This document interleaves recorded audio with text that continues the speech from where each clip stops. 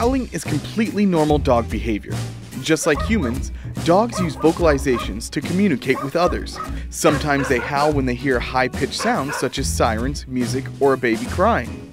If your dog howls excessively, see your veterinarian to rule out medical problems, such as pain.